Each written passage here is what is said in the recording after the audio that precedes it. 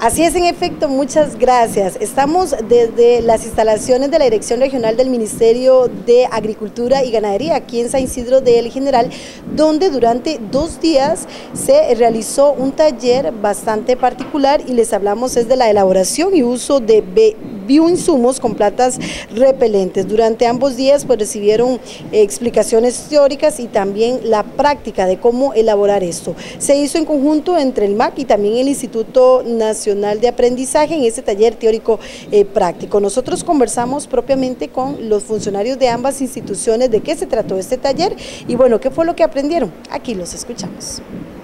Bueno, este taller se hizo en coordinación con el Instituto Nacional de Aprendizaje, eh, consiste en la elaboración de bioinsumos con plantas repelentes.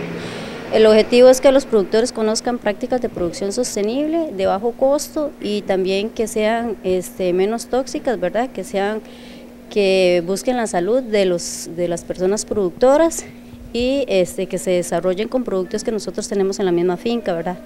Plantas aromáticas, medicinales, reina de la noche, madero negro, gavilana, que se logre extraer los ingredientes de estas plantas y que luego se puedan aplicar en los cultivos para controlar plagas y enfermedades.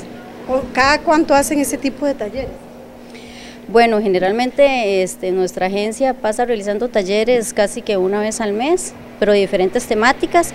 Eh, esta es la primera del año que se invita al público en general, sin embargo hemos realizado varios talleres en diferentes grupos. Donde les estamos enseñando técnicas para elaborar ciertos insumos, especialmente hoy estamos trabajando elaborando plaguicidas y repelentes botánicos. Lo que buscamos es que ellos aprendan técnicas para producir eh, ciertos insumos que le permitan manejar plagas en los cultivos de forma sostenible, tratando de bajar carga química y este, disminuyendo costos de producción, siempre tratando de generar productos de calidad, inocuos y con las recomendaciones técnicas para que no eh, sean de riesgo para ellos y eh, les permitan tener un manejo efectivo de las plagas. Eh, siempre, dentro, siempre dentro de una, un manejo integrado, no solamente recomendando esto, también sabiendo que hay otra serie de insumos y técnicas que son complementarias. Esto es solamente una parte de muchos de los conocimientos y técnicas que ellos tienen que tener para una producción sostenible y más eficiente.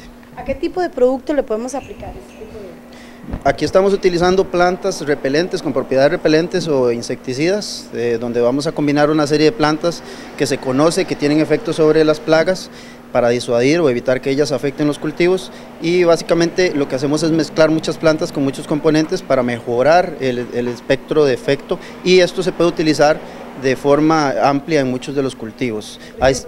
Sí, se puede utilizar en hortalizas, en frutales, en café. Eso sí, tienen que utilizarse eh, con ciertas recomendaciones diferentes para cada cultivo en base al ciclo de desarrollo del cultivo y las características propias que tiene cada, cada producción, ¿verdad? Fueron 13 eh, productores de diferentes localidades que asistieron a este taller. Bueno, ahorita estamos atendiendo a 13 productores, ¿verdad? Vienen del distrito de Rivas, San Pedro, de San Isidro eh, y algunos de la zona de Barú. Bueno, eso es importante, ¿verdad? Porque en Pérez León tenemos productores prácticamente en todos los dos distritos. Es correcto, y identificados, ¿verdad?, en distintas actividades agropecuarias, ¿verdad? Y como parte ahorita de la actividad es incentivar a lo que es la producción más sostenible a través de la elaboración de estos bioinsumos, que lo que vienen es a tratar de reducir esa carga química en la producción agrícola y este, generar un mayor ingreso económico y, e incentivar lo que es la producción familiar. Bueno, y los productores que se dedican a diversas actividades también nos dieron su impresión sobre lo aprendido y cómo lo esperan poner en práctica en sus diferentes fincas. Eh, me parece muy productivo, eh, más como yo como pequeño agricultor que produzco eh, palmito de pejivalle y hace poquito me incorporé al, me inscribí en el programa Bandera Azul Ecológica. Entonces estos talleres son sumamente importantes.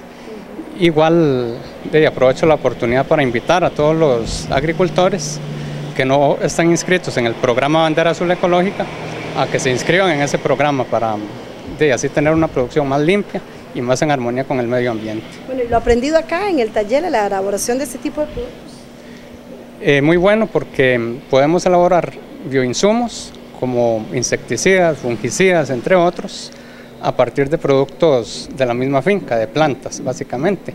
Entonces son productos más limpios y que mm, salen hasta más baratos, ¿verdad?, que los productos. Eh, muy interesante porque ese es el, el, camino que los agricultores tenemos que llevar, aprender a controlar eh, nuestras plagas con cosas naturales, tanto para que no nos afecten la salud de nosotros como para que no afecten la salud de los demás. Eh, aquí hemos aprendido, a pesar de que son dos días solamente, pero ya hemos aprendido bastante eh, cómo funcionan, cómo se hace la receta, en qué se puede aplicar. Incluso hay, hay enfermedades como, como la cochinilla, que es difícil de combatir, el picudo es difícil de combatir, sobre todo en plátano, y aquí estamos haciendo unas recetas que sería para aplicar en esos... Eh, en esos cultivos, en esas plagas. Muy, muy interesante. Muy bueno, el taller muy importante porque este, bueno, estamos con la iniciativa de aprender eh, mucho lo que es la agricultura orgánica. Entonces se nos presentó esta oportunidad para hacer los bioinsumos naturales para las plantas. Como en el caso mío me interesa mucho para aplicar en los cultivos que yo tengo como es la mora, el aguacate y el café. Entonces, para cambiar un poco de los bioquímicos, los bioquímicos a, lo que son plantas naturales, para el control de lo que son los el tric, lo que es los ¿cómo se llaman estos? Los ácaros, la mosca blanca y todos esos cultivos. Un mosquito que afecta mucho en la fruta de la mora, que ella, él, pues, lo, pica la fruta y ya cuando la mora produce, entonces eh, ya, está madura, lo que hace es que sale la, larva, entonces nos está perjudicando en eso, entonces queremos eh, implementar ese tipo de, de insumos naturales para el control de dichas plagas. Así que constantemente acá en el Ministerio de Agricultura y Ganadería se llevan a cabo este tipo de talleres prácticos y también eh, con el objetivo de aprender y enseñar diferentes técnicas. Por medio de la página en Facebook de Dirección Regional de Desarrollo del MAC, usted puede encontrar estas actividades y por supuesto participar de alguna de ellas si usted así lo desea. En cámaras, Kevin Serrano, Carmen Picado Navarro, les informa.